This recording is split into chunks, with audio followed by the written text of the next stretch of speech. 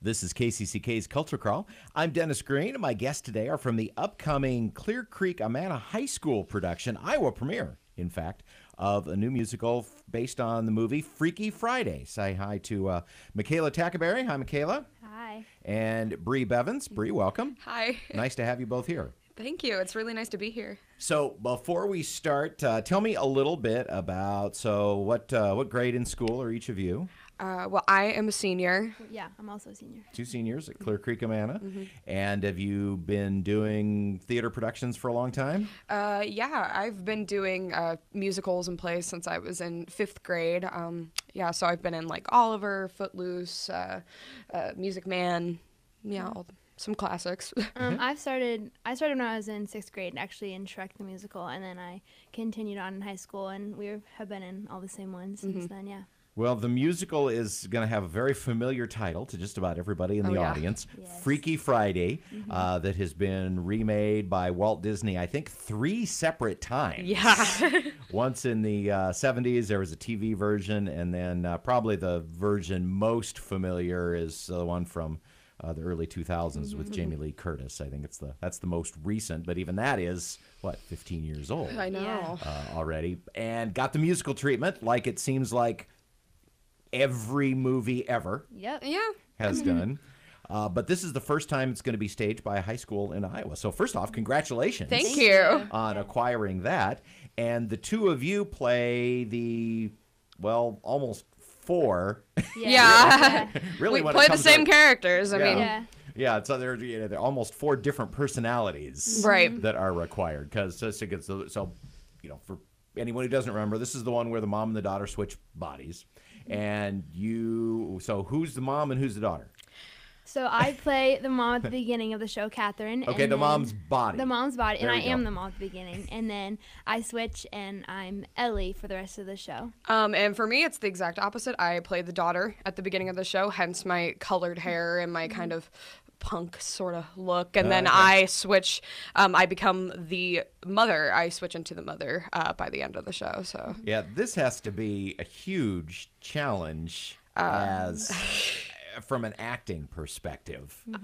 Uh, because not only do you have to, you know, play the different personalities, but you know, I'll be honest, you know, you're the you're the same age. Yeah. Oh, yeah. So you have to, you each have to play ages that are not even close, really, to what you are. Uh, yeah, pretty much. I mean, also, I mean, both characters, you know, grow and develop and have their own little arc too. So you have to p- portray that for both characters, which is kind of a challenge. But Yeah, I'd also say it's how you hold yourself and your um, composure. And, like, definitely you have to make that switch look real to the audience, even though we're the same age. Like, I have to make myself act like the mother, and then the audience has to tell right away that I've switched characters completely. So it's all just like like a flip of a switch almost. Yeah. Mhm. oh yeah, for sure. So which is which? Uh, so we'll uh, start with uh, with you, Mikayla. Which is the which was the most challenging to be uh, to be the mom be the mom personality or the daughter personality? Um, probably the mom, just because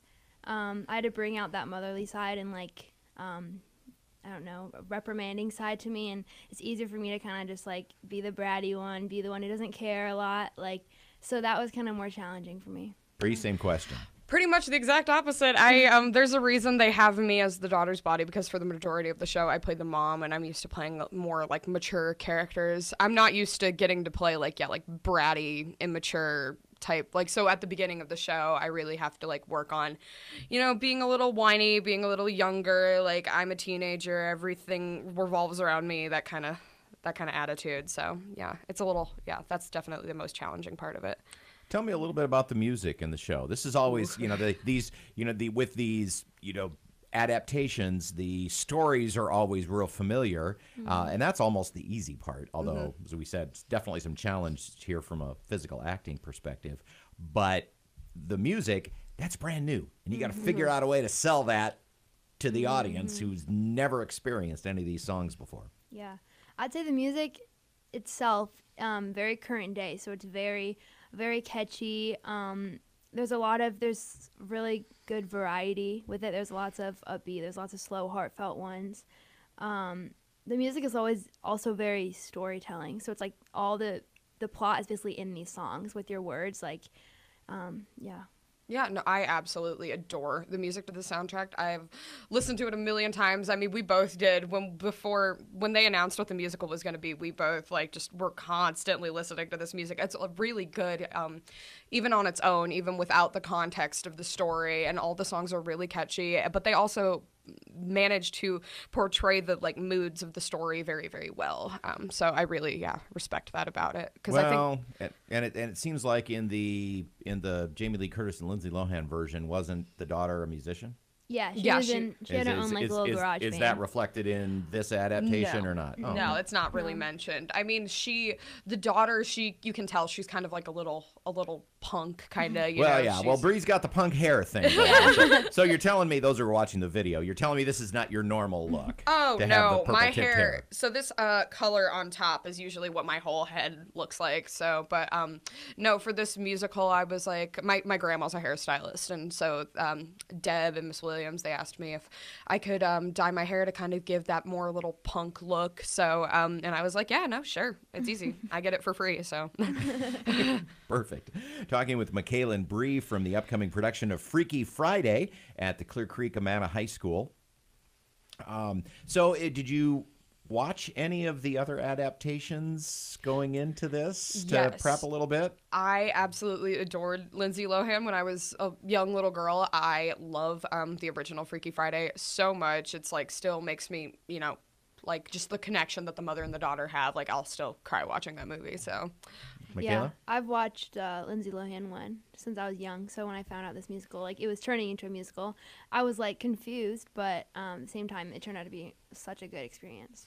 Uh, well, a lot going on and a lot on your shoulders because mm-hmm. the two of you really, if you can't you guys can't do this right, then the whole thing, yeah. you know, kind of no pressure. I mean, yeah. I mean no, no, no. um, but uh, feeling good about it as you uh, head into production week. I've definitely learned so much since the beginning of the show. And i'm yeah i feel i feel pretty confident. I feel it's a i mean part of what makes it so easy though is the fact that it's just so fun to do. And it's so mm-hmm. easy to like put yourself in those shoes because mm-hmm. especially as like i mean you know teenagers who sometimes connect with or sometimes like have troubles connecting like with our parents or whatever as as that happens. I mean it's yeah it's really fun to get to do that on stage and with something we love so much like music. I mean, yeah.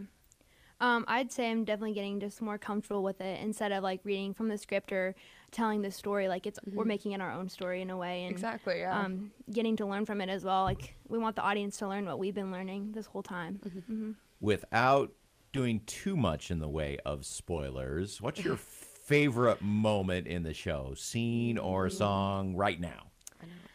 Um, one of my favorite songs is in the beginning. Um, it's called "What You Got," and it's mm-hmm. basically mm-hmm. um, I'm I'm the daughter in the mom's body, and I'm doing this interview um, for my business.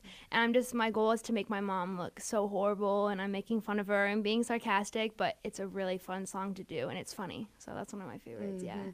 Oh man, I absolutely love um, all of the like switching scenes, like the parts where the songs where we switch bodies are really really cool because we kind of sing over each other. Like in the beginning you know we're having an argument. We're you know like wishing that like oh you i wish you could see what i see. Mm-hmm. um and so it's really fun to like uh portray that like that shift in like mm-hmm. mindset. So that's like my favorite part to do. Mm-hmm. but song wise i think my favorite song is also probably what you got. It's like really fun. It's a really fun and hilarious song. So mm-hmm. The show is Freaky Friday at the Amana, uh, Clear Creek Amana High School, April 11th through the 13th. Yes. Yes. Is there now? Do people just get tickets at the door? Can you order them in advance? How does that work? Uh, we always pretty much do. Yeah, like tickets at the door. At the door. Mm-hmm. Yeah. So. All the shows start at seven, um, and there's one two o'clock one on Saturday as well. And also, this show is going to be judged for the uh, Iowa High School Musical mm-hmm. Theater Awards. Yes. Yeah. yeah. And are you? Uh, uh, so then there's a, then then there's some awards that happen in Des Moines, I think, toward mm-hmm. the end of mm-hmm. the school year. Yes. Right. Right. Yes. Yeah, this is our first year doing that, so mm-hmm. we've never done it before. I think we're a little nervous for it, but I mean, we're just hoping to do the same show every night and like we practiced and um, what comes of it will come. I guess. Yeah. Well, and it's also really cool because I think I mean I th- I'm really hoping the judges like this show because it's not a show that very many people are familiar with. Like it was never it was brand- never on brand new Broadway. in Iowa, yeah. yeah. So I mean I think that I'm hoping the judges like it. I'm hoping I mean yeah these Iowa musical theater awards are like are like kind of a little like they're like a miniature like Tony Award kind of Yeah. thing. yeah.